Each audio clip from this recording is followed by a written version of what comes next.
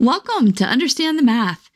In this question, we're given a matrix A and a transformation T defined by T of X is equal to A times X. The question we're asked is what is the domain and codomain of our transformation T? To answer this question, we first have to understand what the domain and the codomain is. The domain is the Euclidean space X is in.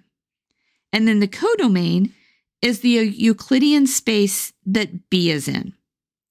In order to find out what the domain and the codomain is, what we're going to do is we're going to look at the sizes of x and b in the equation a times x is equal to b. I'm going to begin by writing down a times x is equal to b. And then we're not going to plug in matrix A. What we're going to do is just look at the size of matrix A. So matrix A has two rows and three columns. So it's written as two by three.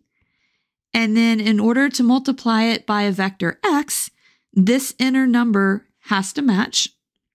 So our x has to be a three by one matrix.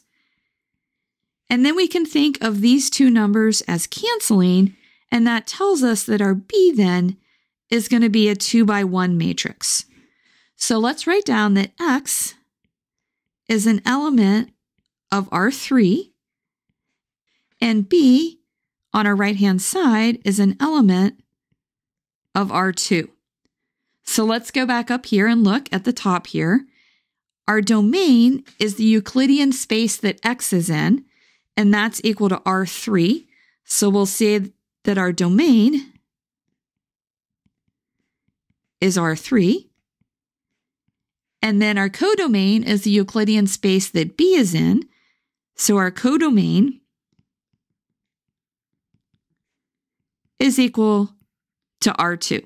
So the key to this problem is starting with the equation A times X is equal to B and looking at the sizes of A, X, and B. If this video has been helpful to you, please consider subscribing to my channel. Keep believing in yourself and have a great rest of your day.